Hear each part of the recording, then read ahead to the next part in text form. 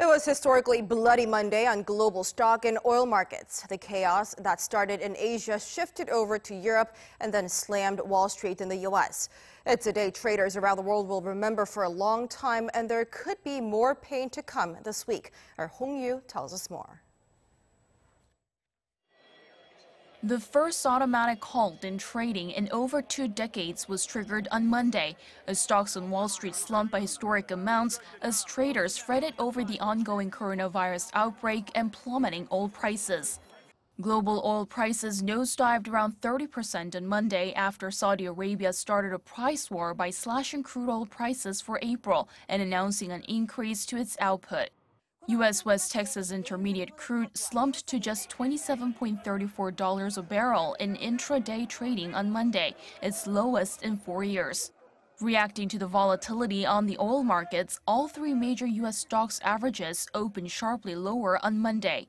Five minutes into trading, the S&P 500 sank a staggering 7%, triggering a circuit breaker that suspended trading for a quarter of an hour. The Dow Jones Industrial Average also took a huge hit as investors sold their positions.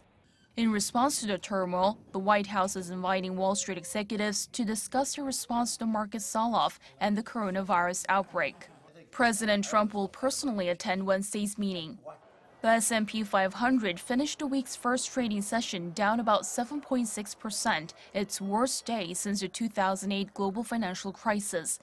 The Dow Jones Industrial Average slumped 7.78% to 23,851.33. The Nasdaq dropped 7.2% to 7,950.68. Over the Atlantic, European stocks suffered hefty losses as well.